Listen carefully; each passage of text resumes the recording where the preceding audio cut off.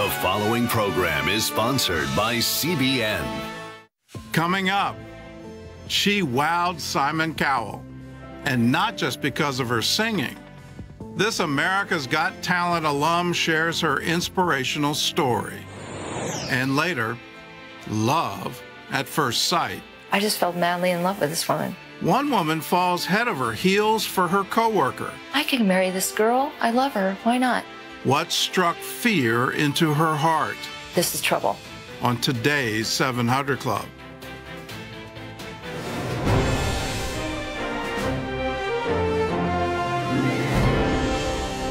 Well, welcome to the 700 Club. Today we're bringing you a story on Ukraine that you may not be able to see anywhere else. It's a holy mission. That's how the leader of the Russian Orthodox Church is describing the brutal war in Ukraine. He also supports Putin's vision of uniting the whole Russian speaking world under Moscow's control. Well, at least seven people died when missiles hit the western city of Lviv this morning. Ukrainian troops in Mariupol are now surrounded by enemy forces. Still, the brave defenders have vowed to keep fighting absolutely to the end. Dale Hurd has the latest. Plumes of thick black smoke rose over the city of Lviv today from multiple explosions caused by four Russian missile strikes. Reportedly among the dead was a four-year-old child. Meanwhile, in the port city of Mariupol, surrounded by Russian forces, a small number of Ukrainian fighters are hanging on, as Ukraine's president says the outcome could change the course of the entire war. The Russian army says about 2,500 Ukrainian fighters are holed up inside this sprawling steel plant, the final pocket of the city's resistance. We will fight uh, absolutely till the end, till the win in this war. Bodies lay out in the open as residents like this woman and her nieces try to flee. Their mother went to get diapers and disappeared, she says. We don't know where she is. Thousands remain trapped without food and water. Millions of refugees are fleeing the country. As they cross the border into Poland, they're met with hot food, blankets, and supplies from CBN's Operation Blessing. In the face of all this suffering, it might surprise many in the West to learn that Vladimir Putin's invasion of Ukraine has the enthusiastic support of the leader of the Russian Orthodox Church, Patriarch Kirill. A close ally of Putin, Kirill continues to preach that Russian believers should support the war in Ukraine as a holy mission. This dates back around 10 years ago at the beginning of Putin's third term.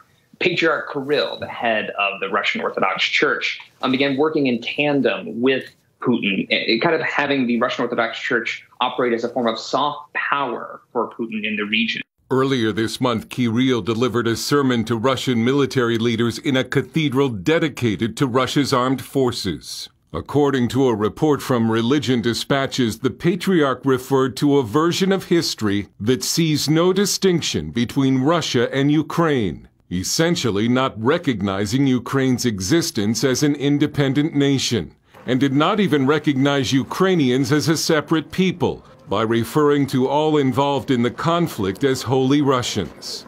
Kirill has preached that it is God's truth that the people of Russia, Ukraine, and Belarus should be reunited as one spiritual people. This is Putin's doctrine of Ruski Mir, or Russian world, which holds that ancient Russia must be reunited and Moscow has the right to dominate its neighbors. Kirill started preaching a ideology, this idea of a Russian world, or particularly a holy Rus, this sort of transnational Russian sphere of civilization that included Russia, Ukraine, Belarus, and some other parts of Eastern Europe. Um, and where the idea would be that Moscow was the political center, and while Vladimir Putin was a Soviet KGB agent, records from the Cold War revealed Patriarch Kirill was a KGB spy during Soviet times.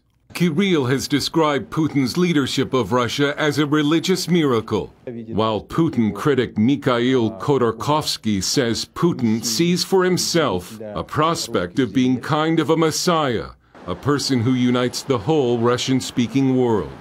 And for Patriarch Kirill, Vladimir Putin is God's instrument to fight against the decadent West.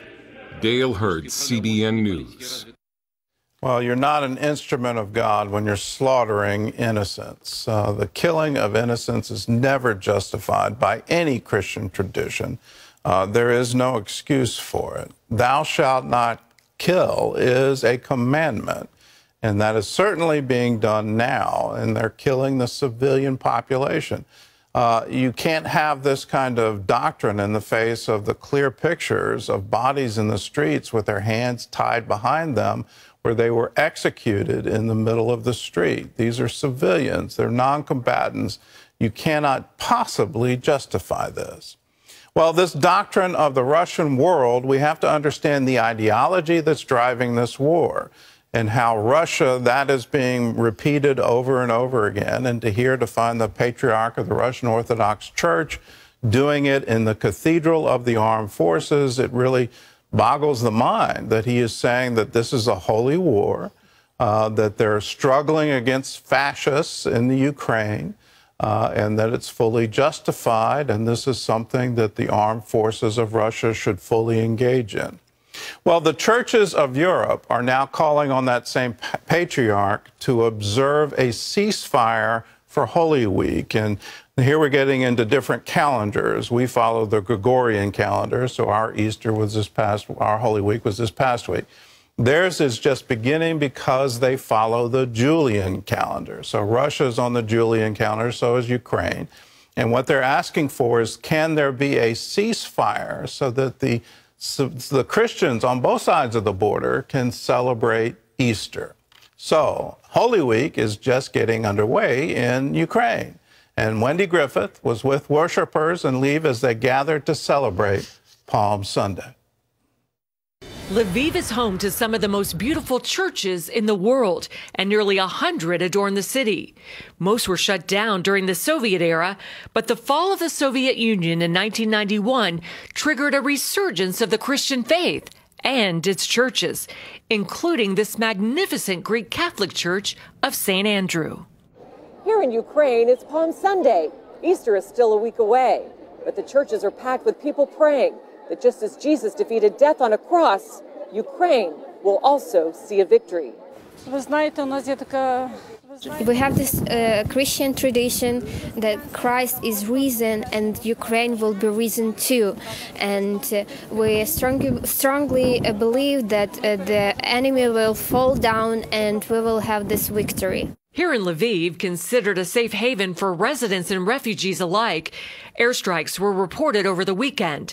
Dear guests, a name parade has been issued in Lviv. Please stay calm and go down for the reception in the shelter. And many churches are boarded up with priceless statues heavily wrapped in case the worst happens. So they're saying now that uh, nobody is off limits. There is no safe havens now, not even Lviv. Yes. Are you scared? Yes. Are you worried? Uh, actually, actually not scary because I understand my, my life belongs to Christ. Uh, I need to do what God tells me to do. So you're not leaving. Uh, what? You're, you're not uh, yes, I am not supposed to leave.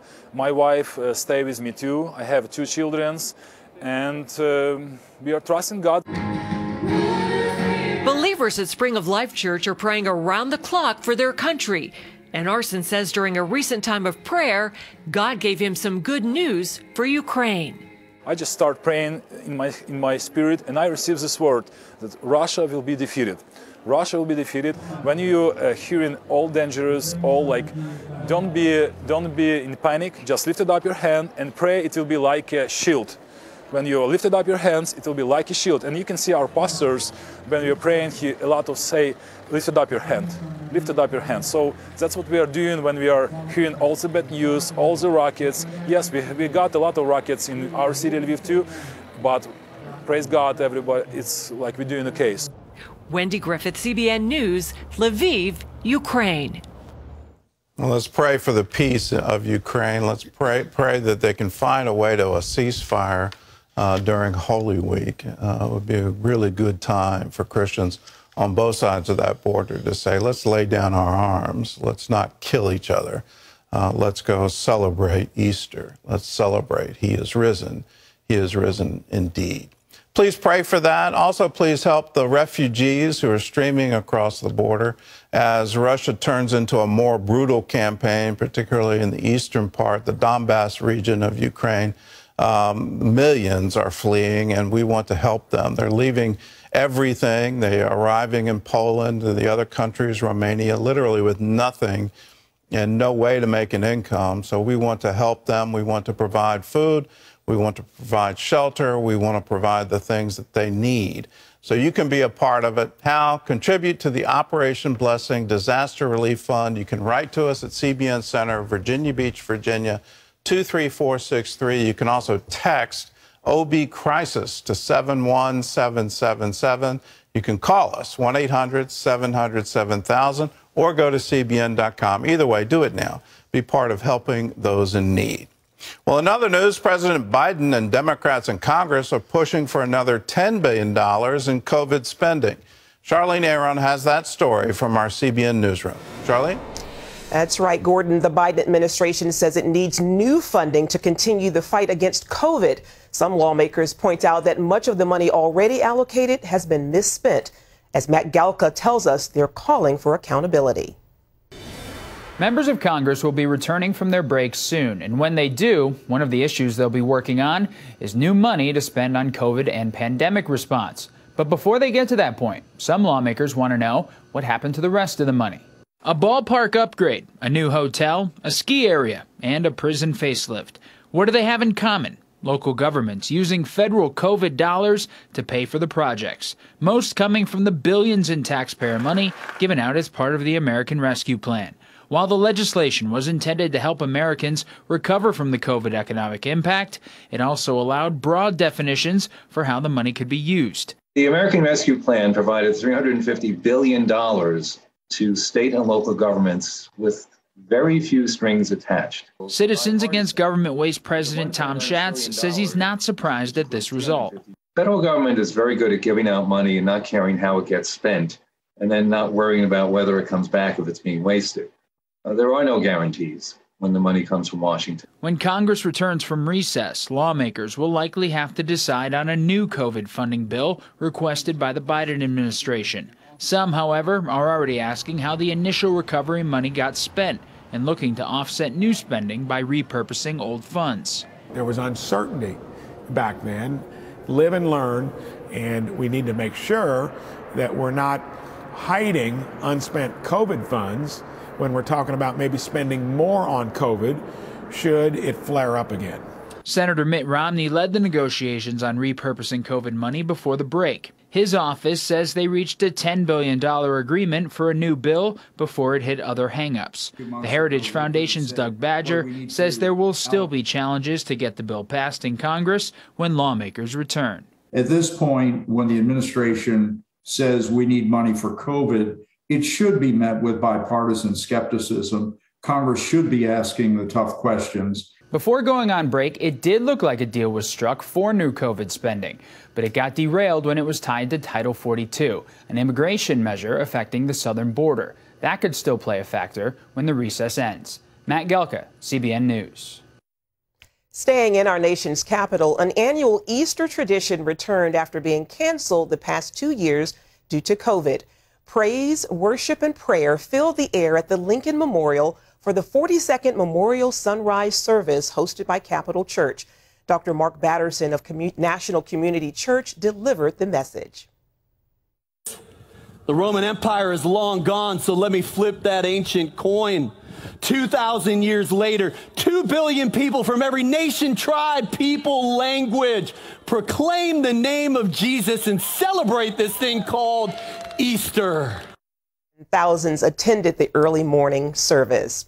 In Israel, hundreds of worshipers gathered at Jerusalem's Garden Tomb, the site where many believe Jesus Christ was buried and rose from the dead. Simon Holland from the Garden Tomb led those gathered in the ancient Easter greeting for Christians on Resurrection Day. We declare to Jerusalem, the Lord is risen. He is risen indeed. Alleluia. And we declare to the nations, the Lord is risen. He is risen indeed. Alleluia. CBN live streamed both the Israel and Washington, D.C. services, and you can see them on CBNNews.com. Gordon? Well, you can watch it. All you have to do is go to CBNNews.com. You can relive these moments both from our nation's capital and then from Jerusalem, from the Garden Tomb. Wonderful services. Uh, let's all celebrate Easter, and I hope uh, we can go move forward in this pandemic and continue to be able to celebrate uh, on Sunday in our churches. Terry? Well, up next, there are going to be plenty of new faces in Congress next year. And if the Republicans get their way, the red wave will be a pink one. And still ahead, she was one of two survivors of a Nigerian plane crash. And later, a finalist on America's Got Talent. Hear her inspiring story of thriving through the scars. That's later on today's show.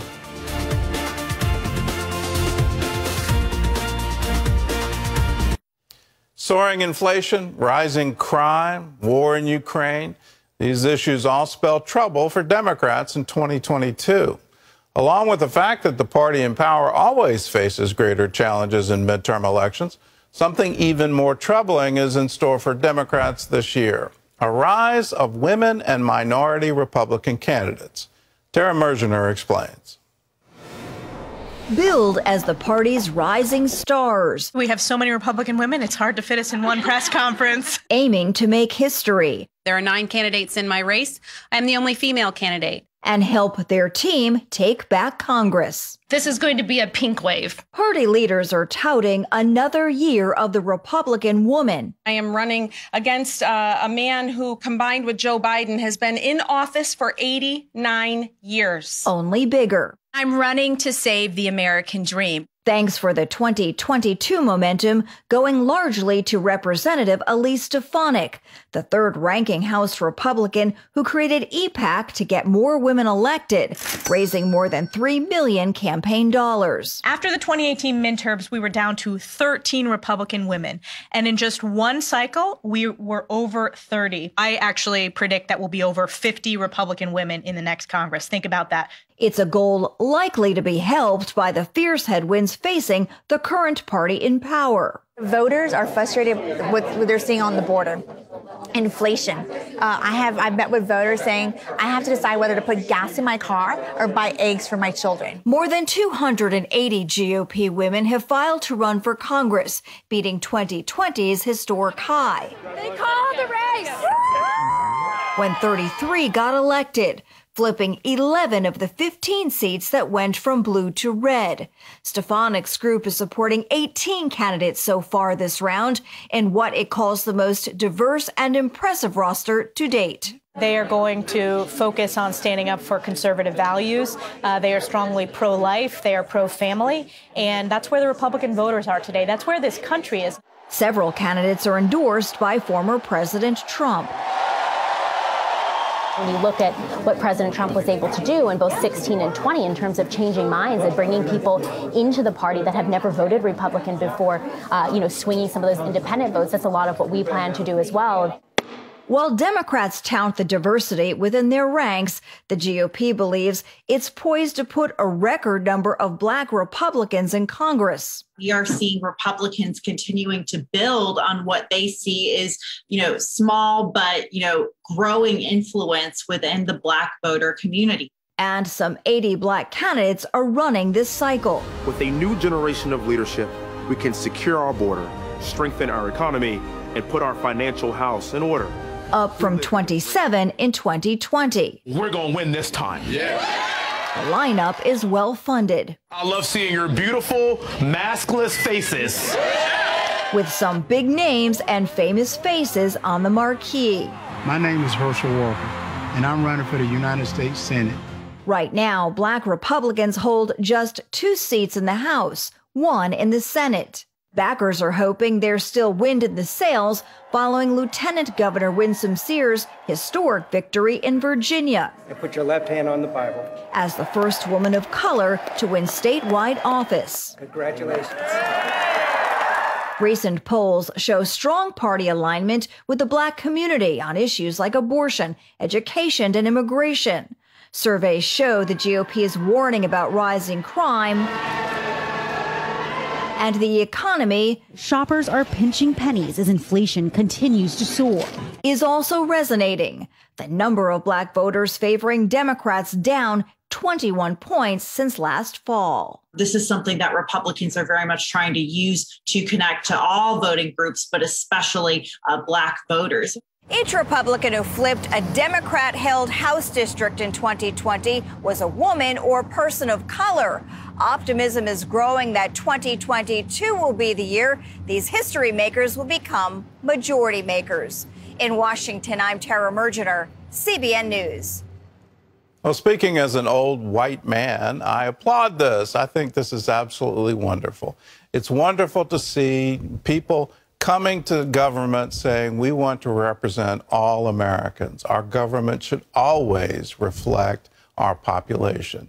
And that is a, it's a great encouragement. One narrative to watch out for in this upcoming election is this so-called white supremacy. It just really bothered me that in this past fall, people were saying that the Republican victory in Virginia was somehow a victory for white supremacists. And I was scratching my head. I couldn't figure this out because here you had an African American woman win for lieutenant governor, the first time in the Commonwealth's history an African American woman was elected to statewide office. And then to add to it, a Cuban American man was elected to be attorney general. So, how does that add up to white supremacy? I don't get it. But it's wonderful to see, and I applaud it. It's great when people come to government and say, let's represent everyone. There? Um, looks like Winsome Sears has started something. Yes, yeah. Wonderful woman. Well, up next, she's an internationally known speaker and a recipient of Simon Cowell's Golden Buzzer. Hear her incredible story of survival, hope, and unshakable faith throughout it all right after this.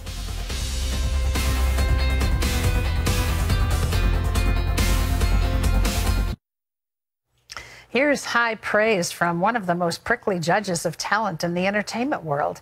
Simon Cowell says Kechi Okwuchi isn't just a singer, she's an inspiration. He, along with millions at home, were wound by Kechi during the 12th season of America's Got Talent. Even more impressive than her singing ability, the story of how she made it to the stage in the first place. Author Kechi Okwuchi was 16 years old when she survived a devastating plane crash in Nigeria, which left her with third degree burns on over 65% of her body. She could have given up, but instead, she persevered. She shared her painful story for the first time in 2017 as a vocalist on America's Got Talent. Her talent and courage inspired millions. In her book, More Than My Scars, Kechi encourages others with her story of survival and how she learned to redefine her identity the way God sees her. Well, Kechi joins us now via Skype. Kechi, welcome to the 700 Club. It's my pleasure to be here. Thank you. Will you share with us, if you will, go back for a moment and tell us what do you remember from the crash? I mean, that's kind of everyone's nightmare. Very true. It was um, in 2005. I was 16 years old, senior in high school, and I was heading home for the Christmas holidays with um, 60 other students from my high school, along with other passengers. And I remember there were 109 of us on the plane, including the flight crew. I remember it just being a very regular flight until it just suddenly wasn't. You know, about 15 minutes left in the flight, when the pilot had started the descent, that's when the turbulence started that just got out of hand and got everyone panicking, screaming and praying and just it was just chaos inside the cabin like it was crazy. And I remember the last thing I did was the last thing I remember is holding my friend's hand. She was in the aisle seat next to mine. And um, it was just like this really loud scraping metal sounds that jars the brain that like that's the last thing i remember feeling before the darkness took over. And i guess at that point that's when the plane crashed but i blacked out before any crash essentially. And then i my next memory after that is opening my eyes five weeks had passed and i was waking up from a coma in south africa in the hospital in johannesburg Unbelievable. Unbelievable that you survived that. There were only two of you that made it out alive. after that crash. You were in a coma for weeks after you woke up, and many procedures had been done to you. Um, there came the day where you were going to look in the mirror for the first time. And your reaction to, to me was astonishing. I mean, you weren't really. You weren't really, you didn't seem to be really shocked. You seemed to be able to see the positive in it. Talk about that. It was very interesting and definitely um, the most significant, I would say, moment of my time in South Africa because of what I I learned, what I realized um, in that moment. You know, it became the foundation of everything that I have done since then, and how I've lived my life. You know, by the mantra that my scars do not define me. It was born in that moment when I saw myself for the first time after the accident. And I remember before the moment where I saw myself, I was very nervous, you know, just like my parents, just like anyone that knew me, because I was concerned about what my new appearance would due to my personality, how it would affect like how I move about life from now on. I knew from the bandages I could see on the rest of my body that my face obviously was also affected, but to what degree I did not know. But I wanted to know so I could start getting better at whatever it is like I feel, you know, whatever trauma I may feel from looking different. And I remember when I saw the reflection finally, my mom raised the mirror to my face and um, everything just looked so like pink and just there was no skin on my face and I just did not look anything like the Kechi that I remember. You know, the last time I saw myself, I did not look like that. Very different reflection, but somehow in the midst of that, I still I remember just seeing a stranger, but at the same time someone very familiar. It was it was very eerie and hard to describe because even though I didn't look like Kechi, I felt like Kechi, and for me that was what defined everything because I came to the realization that if I still feel like me, even if I don't look like me, then whatever it is that makes me who I am has to come from something other than my physical appearance. And that thought was just so freeing. And it's just, I've lived like that ever since, essentially. Very mature in the midst of all of that. Uh, talk a little bit about how your faith helped you through the healing process, because we're talking about a process that took a long, long time and a lot of pain and multiple, multiple operations. Where did your faith come into all of that? My faith is something that um, I had from just being born into and living in a Christian household. You know, at first, as a kid, up until the moment the accident happened, it was an obligatory part of my life. It was just something I took for granted, something that I had because my parents believed it it wasn't anything personal until after the accident when I got to a place that I had to kind of uh, redefine what it means to be a Christian for myself. For the first time, I had to decide what God meant to me and have like the interest in developing something direct and personal with Him, as opposed to a you know kind of a an indirect faith that I had from my mom. You know, and she was really my she was my I guess role model really when it came to faith. You know, I, I wanted what she had. And I wanted to see God the way that she saw him. You know, I wanted to understand him from her perspective because what she saw, how she represented faith was full of love and so giving and so heartfelt. And I just felt like having access to something like that would give me a peace that um, I would need to get through what I was going through. And so that was what began my journey. That that was seeing her faith kind of um, mirrored this interest in me that just that, that was what gave birth to my interest in just knowing about God and learning about him for myself. And honestly, I cannot, I mean, just the fact that I see myself the way I do comes from the fact that I see myself how God sees me. Yeah. Because I know that he sees all of us as valuable and he never, he doesn't care how we look. He cares about what's inside our hearts that he put inside us. And seeing that, seeing through those eyes is what has helped me. So I mean, that right there should tell you everything, really. yeah, your mom is quite a remarkable woman. As I read the book, I, I thought without the inspiration that she was and the way she just put herself right in the midst of your life and your healing, you might not have made it. I most certainly would not have made it because in the beginning, she was my reason for even living. I was waking up every day hoping to see her face. Eventually, it became something that I wanted for myself, but without that foundation of my mom being that reason, I would not be here today. So, Kechi, tell me a little bit about being on America's Got Talent because you had sung before, but never publicly, really. And then after the accident, your voice actually changed. What was your purpose in going on America's Got Talent, and what was that like for you? Well, it's interesting because I actually didn't even sign up for the show by myself. Like one of my best friends actually signed me up without telling me, and she ex- essentially changed my entire life with that one move. You know, she'd been telling me for years to do it, as had my dad, but I just never felt like my voice was good enough. Even though, yes, it did change after the accident, unexplainably, I still didn't feel like I was good enough to put myself on a platform like that where I would compete with other singers. Like, I just would never have done something like that.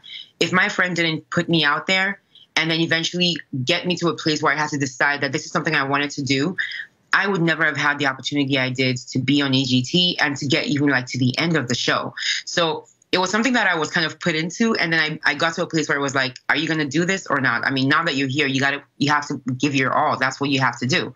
So um, that was one of the most incredible experiences of my life. Not just the fact that Simon, of all people, really seemed to like me and take to me and really encourage me. But also the fact that the show gave me this platform to expose my, like, it gave me this exposure to kind of allow myself to share my story and my voice with the world in an inspiring way. And it's something I've always wanted to do, but I never had that kind of access to people until I was on the show. So for me, I think that was the biggest gift from being on AGT. Well, your story is quite remarkable. Um, and I just want all of our viewers to know you can discover more of Kechi's story by getting her brand new memoir. It's called More Than My Scars, and it is available nationwide. Kechi, thank you so much for being with us. God bless you. God bless you too. Thank you for having me. Mm-hmm. Gordon? Well, up next, a business deal goes bad, and a young entrepreneur has to move back home with his parents. See how his mother helped him rebuild his financial future. Then later, looking for love in all the wrong places. One woman starts an office romance with a female coworker. See why it was trouble at first sight. That's coming up.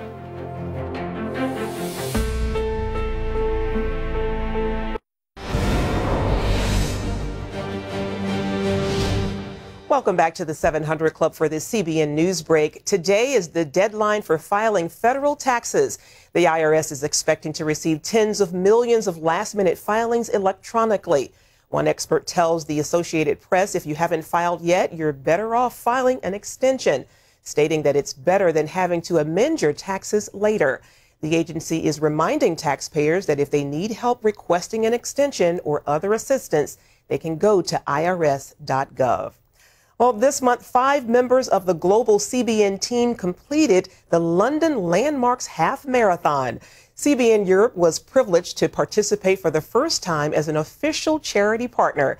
The CBN team ran 13.1 miles on roads with views of some of London's most iconic landmarks. Gizmo ran in the mascot dash. CBN took part to raise funds for the people of Ukraine and added many donations to those which partners have already given.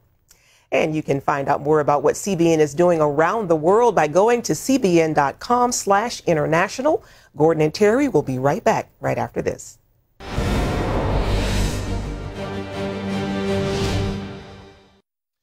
Will Burke was a high stepping entrepreneur in his mid 20s. Then a major business deal went bad. Will lost everything and he was forced to move back in with his parents. Here's his story. 28 year old Will Burke is a go getter. In 2017, he started his own business selling electronics. I've always kind of had this like entrepreneurial itch. I actually got network connections with people who would buy electronics stateside and ship them internationally. As a pastor's kid, Will knew he should be tithing. But the more he earned, the harder it became to tithe my priorities started slipping a little bit. I started not going to church as much, got a fancy apartment that I probably shouldn't have gotten. I stopped, you know, tithing. I wasn't reading my Bible. Then in late 2018, Will took out a loan to invest in a business deal with his main supplier. The deal went bad, and Will was left thousands of dollars in debt. It was this really dark time in my life. I had to break the lease on my apartment. I had to move back in with my parents. That's not what you want to do when you're 27. I was pretty discouraged. Will started doing freelance web design and decided to begin tithing from his small income. I really put my nose to the grindstone. I was consistent with my tithing. I started making money again, and I'm like, this is great. Plus, his former business associate returned his investment. I took it as like a confirmation as like, okay, like I've, I've taken care of you, I've cleaned up after your mess. Will spent the rest of 2019 working to pay off debt and saving to attend grad school. He took his first course online that fall and made plans to relocate to become a full-time student. I was high stepping into 2020, man. I'm like, this is it. This is my year. Then the night before the move, Will got sick. I contracted COVID. And for the next like 10 days, two weeks, was in constant pain, coughing. While he was recovering, Will's bank account was hacked. Didn't sleep at night, I'm in constant pain. I can't leave. I'm not talking to God. I was, I was done. I was mad. Will also stopped tithing. But there was one bright spot. During that time, Will's mom started turning on the 700 Club each morning. It was such a adult encouragement, and I came to really enjoy it. It was a really healing experience for me. Will decided to start giving again and became a CBN partner. Seeing all of the things that CBN does through Operation Blessing, Orphans Promise, things that are close to my heart, like sustainable solutions for impoverished communities. What you're giving actually goes to these incredible, incredible causes. I was just like, I've, I've got to be a part of this. Over the next few months, Will's bank recouped 75% of his money. Will continued rebuilding his business while working on his degree online. Since then, he's recovered both physically and financially. My business has exploded. I actually hired my first employee recently. I'm in a better position than I was before I knew what I was doing. And so it's impossible for me to not be grateful. Now Will looks forward to the future. He also encourages others to trust God with their tithes. You're giving that in anticipation that the Lord is going to multiply that in ways that you don't understand. God will do it for you too. You just have to trust in Him. God wants to bless his children. When you have that principle in mind, that he loves you, he loved you so much that he gave his only begotten son. When you understand he loves giving, he wants to pour out blessings over you, what is he waiting for? Well, what he's waiting for is your obedience to say, I'm going to do it God's way. When you understand that everything you have comes from God, and he's looking for you to be a good steward of it, and when you show that to him, then he opens the windows of heaven and pours out a blessing you can't contain. Will learned that. He was in desperate circumstances. He decided, let's give God a try. Let's do it God's way. And in that, he walked into a tremendous life secret give, and it will be given unto you.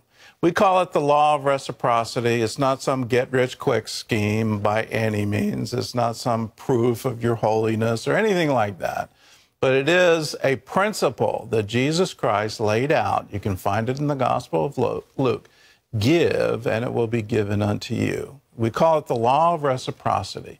You put it into motion. You don't wait for the blessing. You say, I'm going to put this into motion, and it will be given unto me. If you want to start doing that, give us a call 1 800 700 7000. Say, Yes, I want to join the 700 Club.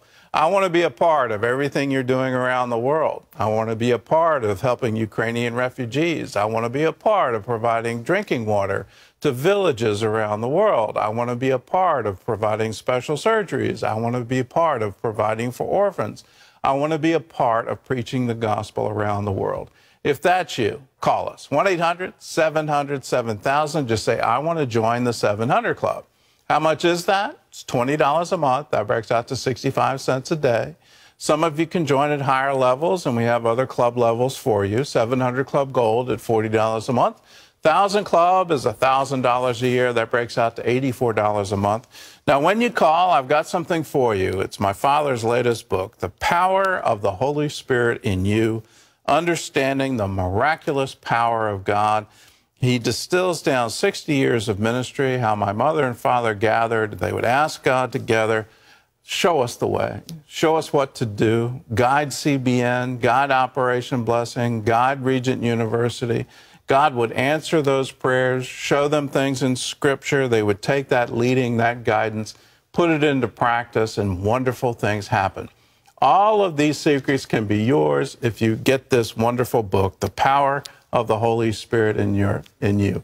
I want you to have it. It's yours when you join. Call us 1 800 700 7000. Terry? Well, up next, a quick glance turns to romance, and suddenly this woman has a big choice to make. Her decision and how it led her to find true love right after this.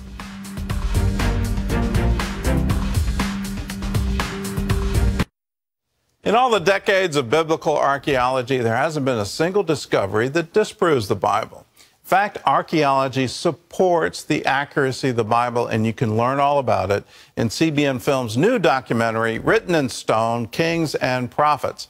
For your gift of any dollar amount, we're raising funds for our next documentary called The Oracles of God. So we want your contributions to help fund that. So a gift of any dollar amount will send you this all new DVD. You'll also get exclusive instant streaming access in 4K on the CBN Family app. To get it, all you have to do is go to cbn.com slash written in stone, or you can call us 1-800-700-7000, or you can text KINGS uh, to 80888. Either way, do it now and get this wonderful DVD. Terry? It's been said love is a battlefield. Chris Olson found herself in the middle of two warring sides. Soon she had to make a choice between the woman she loved and the God she served. Growing up, Chris Olson felt deeply rejected by her father. My dad never expressed a lot of emotion. If I ever tried to reach out to him, he would push me away physically. I felt rejected as a, a female. I felt rejected as just a human being. And so to me, I took things in as this is how men are. Her mother confirmed Chris's feelings. Don't trust men, they're no good. Get your own education, make your own money. I made a vow to um, never be married, and I made a vow to never open up my heart to my dad. In high school, Chris began looking for acceptance through female relationships. You know, my same sex attraction began with what I would call like emotional draw. I would pick somebody who was pretty, popular, and had what I'd like to be, and I would start manipulating my way into their world. But the real need inside of me was to be around this person, to feel like I had value, to feel like I was pretty, to feel like I was needed. Chris continued to struggle with same sex attraction throughout college, but she never acted on those feelings. Instead, she looked to her faith. You know, honestly, I felt like um, like I, I didn't fully give my life completely, utterly to the Lord till I was 33, but I feel like His hand was always on me. He was always with me. However, her spiritual resolve was tested when she entered the business world. It happened during her first company meeting. I looked across the room and I connected with my eyes with another woman. I was immediately attracted. And I could see she was too. And I heard the Lord clearly say to me in my heart, um, This is trouble. Chris soon realized that in order to do her job, she needed to collaborate with the woman. The two began working together. And then we started just kind of hanging out after doing that a little bit and talking, and that progressed to kind of the weekends. And just out of all of that, I just fell madly in love with this woman. I, I ended up being introduced to the world of lesbian behavior, sexuality. I was really starting to think, you know, I could marry this girl. I love her. Why not? You know, I could still have my relationship with God. Who would know? I was beginning to become deceived by my sin. I knew in my heart that what I was doing and engaging in and thinking was wrong, but I was starting to justify it. I would often speak scripture to her when we were having a conversation. We're sitting in my car one night, we're talking, we're having this conversation. I mentioned some scriptural, you know, thing to apply to it, and she just blew up and she said, Shut up. I am so tired of hearing about Jesus. I want, I want nothing to do with him. I don't want to become a Christian. And if you want to keep seeing me and you don't want me to disappear and get out of this car and never see me again, you will never say his name again. And in that moment, I felt the spiritual battle going on for me. I was having a hard time deciding. I mean, it was just a battle. I just heard God say, choose. Choose. Eventually, Chris made her choice. I didn't want to lose my relationship with God. I didn't want to have a place where I could not hear his voice or pray and feel like he's answering my prayers. I chose Jesus because he is the better love. He is the more perfect love. He is the one that loves me the best. When I when I left that relationship, it was like that was it. I threw everything out, all the music, all the memorabilia, all the anything that reminded me of her. Uh, I really cut it off, and I, like I said, began seeking the Lord, really wanting to be around Him, wanting to be around the Word of God, really seriously getting into prayer again, and really reestablishing a solid walk with Jesus. I repented of all of that. I don't believe it, and I don't behave in that fashion any longer. Chris has also been able to reconcile one other relationship. I'm able to hug my father. I'm able to give him a kiss, even if he's not really taking it in. It doesn't matter. I'm able to express it because I've forgiven him fully. In 2009, Chris founded Coming Out Again, an outreach that helps those struggling in unwanted homosexual, lesbian, or transgender behavior. And Chris continues to share her story to help others find true freedom and identity in Christ. I am so thankful for my deliverance from all these things, for my transformation, for God restoring my original gender intention, my original gender attractions, and uh, just to be who He always intended for me to be. And the journey isn't over. I'm still on the journey. I don't know what He has ahead, but with Jesus, it's always good. It is always good because his love is immeasurable. It's so hard for us to grasp how much he loves us. You know, it's a good thing in Chris's life that she knew God before she got into this relationship because she knew it was the greater love. It was the better love. It was the it was the choice. But every one of us in our lives, no matter what our temptation is, no matter what's facing us, have to come to that crossroads where we make a choice. You know, it's the world versus God. And He's asking us sometimes to give up a relationship that matters. Sometimes it's a same sex relationship, sometimes it's an unhealthy heterosexual relationship. It can be many things. It can be a career that owns you and you can't be the person you're supposed to be. You know, sin is sin, and God calls it that in His Word, and it's why He says, If you love me, you'll obey me. He calls us to a different place, to a deeper place, to a place of denial in many instances, but also a place of healing a place of coming home to the Father heart of God. You know, no matter where we've been, no matter what we've done, that call of God, that call of the Holy Spirit is in your heart and in your mind. And you'll never fully be satisfied until you come home to what you were created for. We talk about the fact that a relationship with God is not about religion, it is a relationship. And it's heart to heart, it's mind to mind, it's spirit to spirit. And it's where you were intended to dwell for eternity. If you've been away from God, I want to invite you today to come back. Come back to his heart. He knows who you are. He knows where you've been. He knows what you've done. He doesn't care. He loves you. So come back to him and humbly confess your sin with the heart willing to trade to trade where you've been and what's held you captive for all that He has purposed for you. Just be honest. It's a conversation. Jesus, I need you. I want you. This is where I've been and what I've done. Please forgive me.